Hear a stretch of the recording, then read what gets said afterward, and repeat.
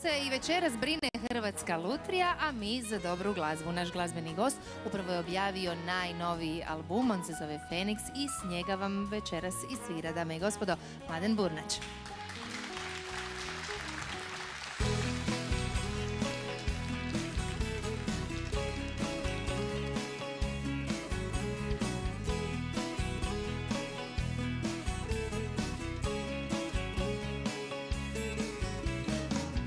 Nekada je srcu dovoljan Samo tren da nekoga zavoliš A premalo je čitav život Do ga jednom možda preboliš.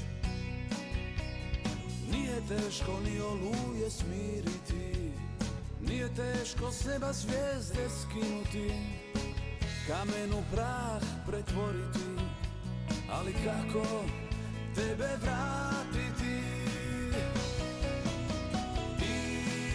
Ivana na obali Dunava u polju makova više nema naših tragova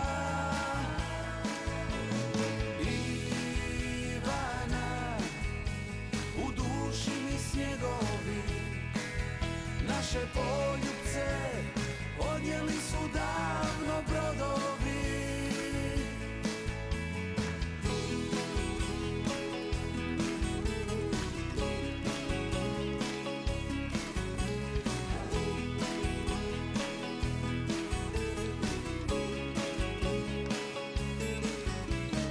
Bijelo lice, oči boje badena Ko Feniks iz pepela sjećanja.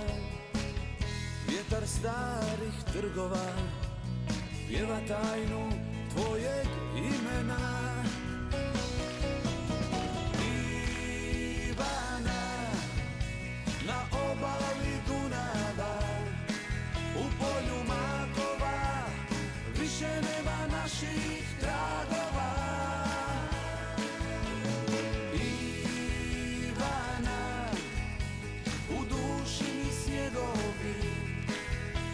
naše poljubce odnijeli su davno brodovi